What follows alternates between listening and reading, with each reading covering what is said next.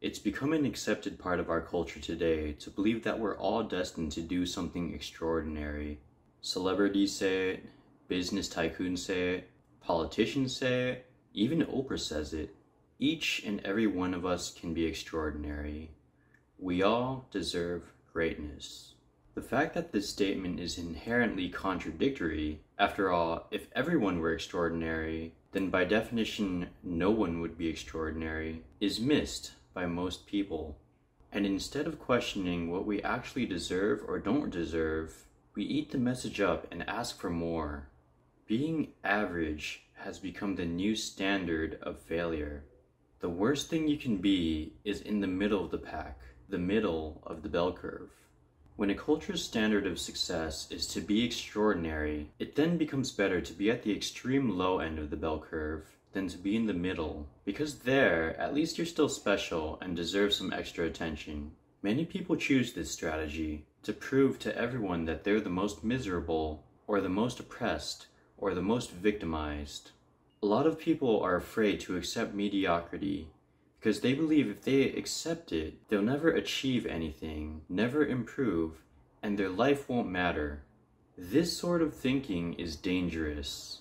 Once you accept the premise that a life is worthwhile only if it is truly notable and great, then you basically accept the fact that most of the human population, including yourself, sucks and is worthless. And this mindset can quickly turn dangerous to both yourself and others. The rare people who do become truly exceptional at something do so not because they believe that they are truly exceptional, on the contrary, they become amazing because they're obsessed with self improvement. And that obsession with improvement comes from an unerring belief that they are, in fact, not that great at all. It's anti entitlement. People who become great at something become great because they understand that they're not already great.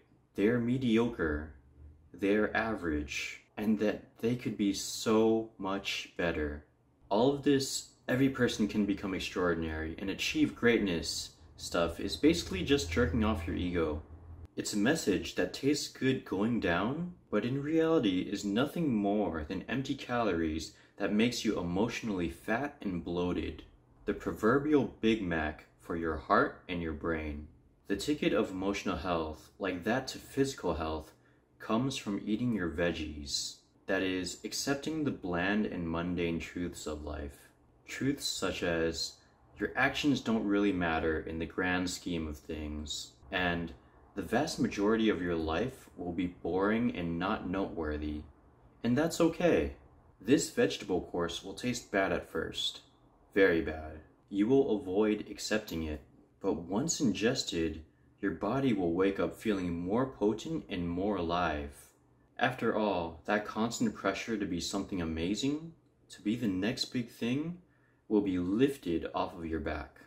The stress and anxiety of always feeling inadequate and constantly needing to prove yourself will dissipate.